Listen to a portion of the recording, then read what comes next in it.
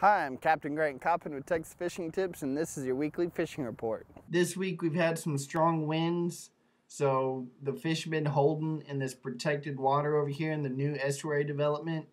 Coming in here, fishing free line live shrimp under a popping cork, or just free line shrimp, and free line piggies working real good for trout and reds. Over here on this shoreline, some more protected water. We've been catching some good black drum along this wall, throwing free line piggies for the trout and the reds, and dead shrimp on a jig head for the big black drum. Back here in the back bay, we've been catching some good drum and reds on these back reefs. Just come back here, throw some cut bait and some dead shrimp up on these reefs, and you'll catch plenty of reds and drum. I'm Captain Grant Coppin. Thanks for watching.